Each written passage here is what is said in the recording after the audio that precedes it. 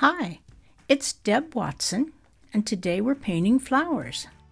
Here's my original photo, and here is the painting you're going to see. Visit watsonwatercolor.com for the free lesson. I start with an outline and wet the paper so I can tone the whole thing with yellow.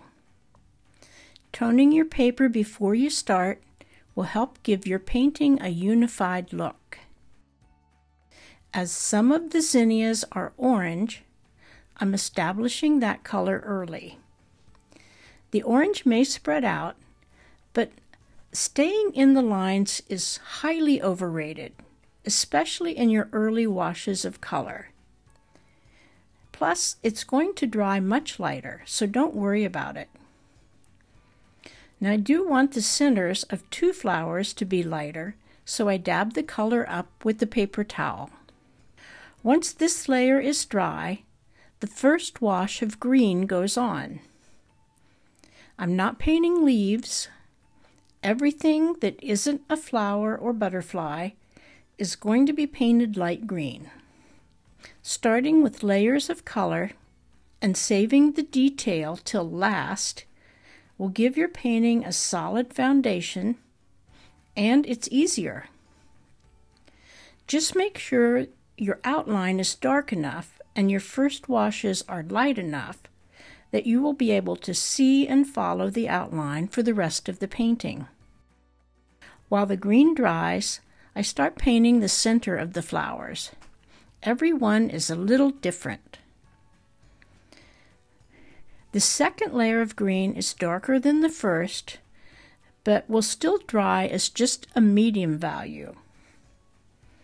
We're starting to build depth with darker green behind the lighter leaves. I have to keep referring to my photo to know where to paint the color. You could put X's on the areas that will be darker when you do the outline, and that does make it easier to follow. To create depth, the value of the color gets darker with each layer that is further down. The lighter layers seem to pop out. Just paint the color in layers and you'll be surprised how nice it looks. If you like this video, please give me a thumbs up. My videos don't get enough views, and I'd really appreciate your support. The butterfly needs a coat of color too, and now all the initial washes are done you can finally start painting things. You can add as much or as little detail as you like. I like a lot of detail. It's hard to stop. I start on a few of the flowers, adding more color and a little definition to the petals and the centers. An even darker green gets painted in the big shadow areas to break them up and create the suggestion of more leaves and stems. The front leaves will get some shading with soft washes of color and water. I do a lot of balancing. Decide what needs to be darker to push it farther back, paint it, and evaluate again. Creating depth is not so much about getting the details right as it is getting the values right. The lightest leaves are on the top, and the darkest areas are the farthest down. You can push a dark green even farther back by washing over it with a dark blue color like phthalo blue. Cooler colors recede, while warm colors come forward. You can find which colors I use on my website in the materials lesson. I use mostly transparent pigments because they make the cleanest, most glowing mixes, especially darks. And dark values are important if you want realism in your painting. So, now you know all the tricks for depth and realism in watercolor. Keep layering until everything has a first coat of color, and then take your time to build up the value and details. An important thing to remember if you get burnt out and you just don't want to look at it anymore, take a break. Put it away. People look at a great painting and think the artist whipped it out in no time at all. That's not usually true.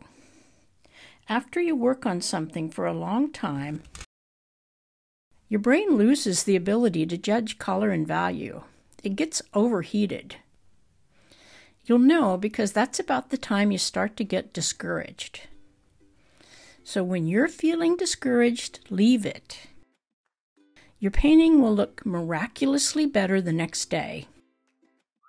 You can work on a different painting but if you push on when you're feeling discouraged, the results are never good.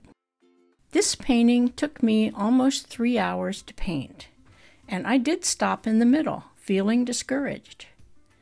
The next day, it wasn't so bad. You can paint this without half the details I'm putting in, and it will still look great. To paint the darkest values, you may need to give the areas three or more layers of color. If the whole area gets too dark, lift some off with Mr. Clean's magic eraser and repaint what details you need. That's if your paper can handle that. I use Arches and it works quite well. At the end, I use Mr. Clean to lift out some highlights and soften detail where I overworked it. I hope that helps you to understand depth and realism in watercolor. Don't start with the detail. You're not painting a leaf, you're painting a green value. Start with loose washes of light color. Then build up depth and color with more washes. And then you can add as much or as little detail as you like please check out my free website and start painting today. Happy painting!